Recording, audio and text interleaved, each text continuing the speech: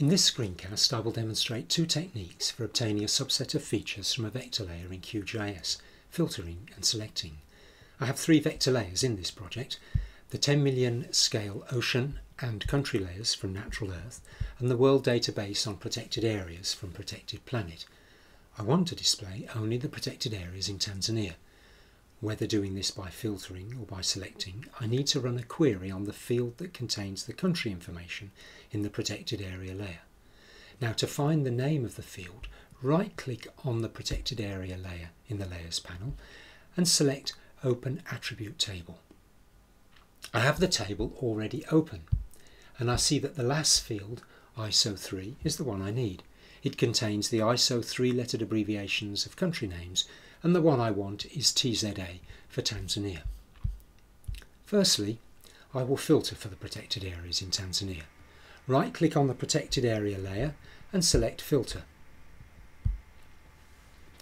In the query builder box, scroll down to the ISO 3 field and double click it.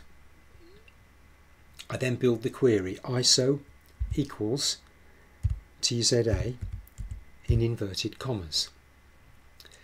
Click Test to verify that the query works and in this case I see that it will return 618 records of protected areas. OK. OK again to run the query and now only the protected areas in Tanzania are visible.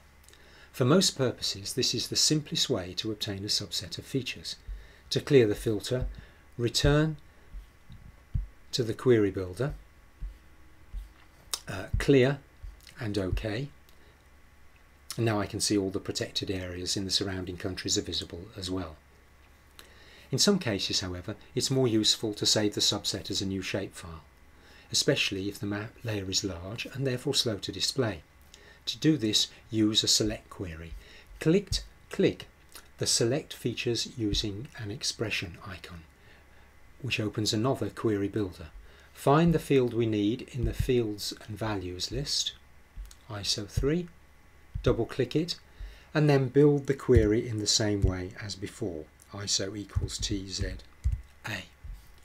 Select to make the selection, close, and we can see the protected areas in Tanzania have been highlighted. To center the selection on the screen, you can click the Zoom to Selection button.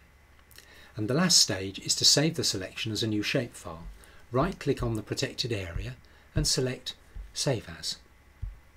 Provide an appropriate name and location for the new shapefile. I'm going to use my desktop and I'll call the shapefile simply TZA. Make sure that the Save Only Selected features is ticked and that Add Save File to Map is also tip, ticked.